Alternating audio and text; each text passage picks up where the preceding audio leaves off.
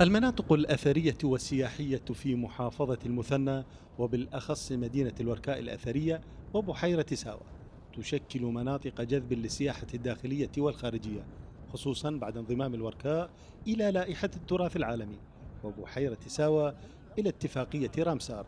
إلا أنهما ما زالتا تعانيان من الإهمال وانعدام الخدمات الخاصة بالمرافق السياحية والآثارية. مع شديد الأسف نلاحظ هناك موت بطيء لهذه البحيرة وتراجع بمستوى الخدمات المقدمة إلى حد إنه انعدمت آه، بالشكل الصحيح.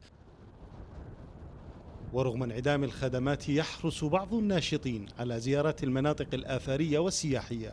أعضاء نادي دوج كرفان والذين جمعهم حبهم لهذه السيارة على تشكيل هذا التجمع من مختلف محافظات العراق. كانوا حريصين على إقامة تجمعات دورية في عدد من تلك المواقع.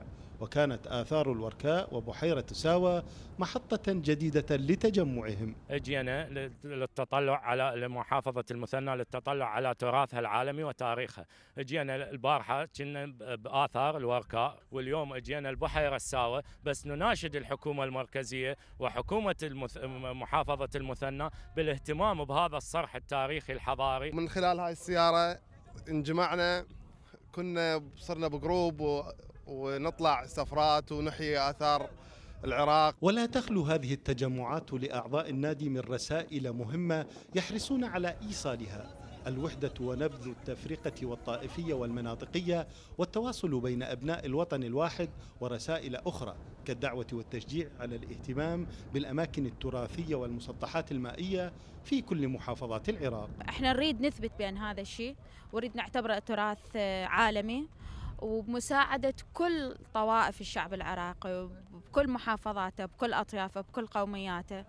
فنريد نبين بأنها العراق إيد وحدة يعني هي هاي رسالتنا. هذا النادي شكل بال 2015 صار له ما يقارب حوالي ثلاث سنوات.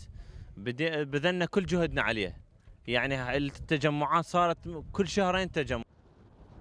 من المثنى أحمد السعيدي الحرة.